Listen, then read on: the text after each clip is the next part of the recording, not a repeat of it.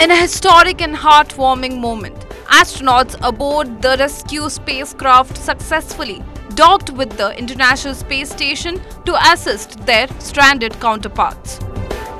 The mission, fraught with tension and anticipation, culminated in a seamless docking procedure, showcasing the pinnacle of human ingenuity and collaboration. As the hatch opened, the two crew embraced, symbolizing unity and resilience in the face of adversity. The stranded astronauts, who had faced technical challenges that left them unable to return to Earth, expressed immense relief and gratitude. The rescue team brought essential supplies, technical expertise, and a renewed sense of hope. Adding to the significance of the mission, Elon Musk, CEO of SpaceX, took to X to applaud the efforts, stating, A remarkable achievement in space collaboration, humanity at its best.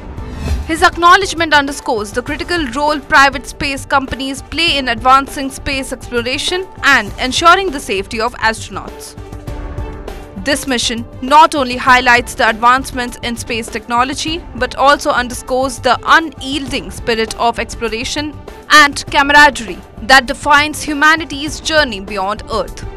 As the ISS crew prepares for their eventual return, this event will be remembered as a testament to the power of teamwork and boundless possibilities of space exploration.